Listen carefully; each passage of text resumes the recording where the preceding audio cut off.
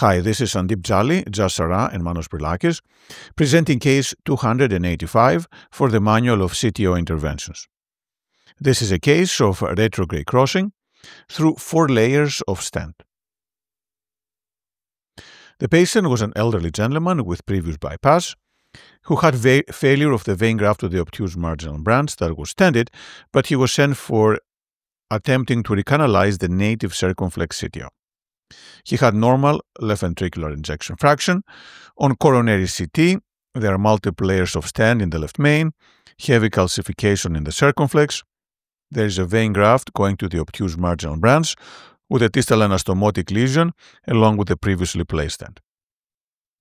And the same is seen here on the saphenous vein graft, prior stent, distal anastomotic lesion.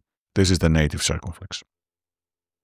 This is the coronary angiogram showing the SVG to the obtuse marginal branch. There is an anastomotic lesion, especially proximal to the touchdown, and the circumflex fills retrogradely, and uh, there's a gap between the left main and the circumflex. So to assess the circumflex CTO, there's a blunt, ambiguous proximal cap, and there are four layers of stents covering the ostium of the circumflex. The length is about 25 millimeters. Distal vessel is small, diffusely diseased, and fills through the vein graft that can be used for going retrograde. So our plan was to go retrograde through the saphenous vein graft, try to resolve the proximal cap ambiguity, and then try with antegrade crossing. We did use uh, big guides by femoral approach, 8 French AL1 for the vein graft with a 7 French Trapliner, along with an EBU for the left main.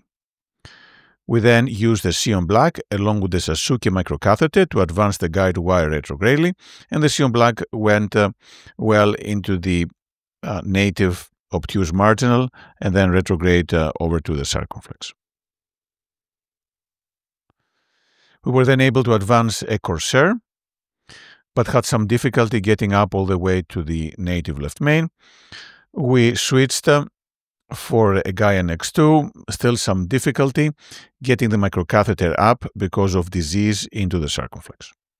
So we switched for a FineCross M3, which is very deliverable, and the fine cross actually went further up almost all the way to the left main.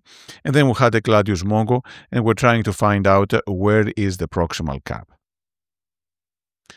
We came very close to the left main and tried multiple wires, including Gaia X2, Hornet 14, Confianza Pro 12, but all the wires uh, remained extra plaque. We were not able to make it through the layers of stent. We did IVUS on the left main and there was significant stent under expansion. So we went ahead and ballooned it with a 3.5 millimeter OPN balloon up to 50 atmospheres that successfully expanded the stent. However, despite that, we still have difficulty puncturing retrogradely into the antegrade Then The wires kept on going into different planes. Multiple attempts again. We did use uh, a Gladius MG, a Gladius Mongo, and we had difficulty redirecting it to a favorable position. But eventually, after multiple attempts, we did have this um, um, good appearing location clarifying the proximal cap ambiguity. We then decided to go antegrade. We did multiple attempts. We used a Venture Microcatheter, one of the few remaining ones, didn't work. We used a 120 Supercross, also did not work. But eventually, using the Sasuke dual lumen along with the Gaia X3, we were able to puncture antegradely following the course of the retrograde microcatheter wire. This took a, a lot of time and persistence and multiple wires. Now, the microcatheter could not cross into the circumflex, so we used small balloons. And after doing that, we were able to advance the Corsair inside the circumflex, knuckle the Mongo, and now we have overlapping wires in the extra plaque space into the circumflex. So very good development. We will try to bring in a guide extension all the way into the circumflex using inchworming, but uh, it was not possible because of the stents. But nevertheless, we were able to advance the retrograde Mongo, and after a couple, couple attempts, the retrograde Mongo went into the antegrade guide extension and the antegrade guide catheter, and we externalized the R350. we ballooned into the circumflex and to restore some antegrade flow, and then decided to stent uh, using the T technique, given the favorable angle between the left main as well as the circumflex. So we placed a drug-eluting stent, and that provided a good result proximally. But then there was significant disease distally with poor flow, so we were able to use uh, the Sasuke to wire into the obtuse marginal branch. And then we delivered another drug-eluting stent to cover all the way to the obtuse marginal. We almost deployed the stent before removing the retrograde guide wire. It is very, very important to never jail the retrograde guide wire. But thankfully, thanks to Dr. Jolly, we removed the retrograde gear, then deployed the stent, and then we had a nice final result with TIMI3 flow into the circumflex and the obtuse marginal branch. We decided to not occlude the uh, saphenous vein graft that had a diffuse disease, but this could be done at the second time.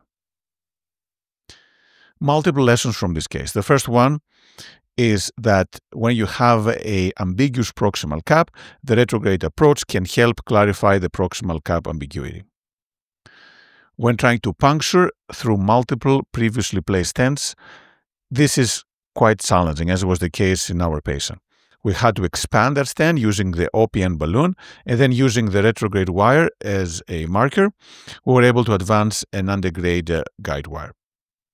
Using the knuckle was favorable because it allowed us to follow a course, the anticipated course of the vessel, instead of going potentially outside the vessel. And then uh, we were able to cross antegradely, did a reverse CART, followed by stenting. The other lesson here is that persistence is important. We were about to give up when we could not puncture antegrade after multiple attempts. But eventually, using the Sasuke dual lumen and the Gaia X3, we were able to make that uh, puncture that was critical to the success of the case. Thank you.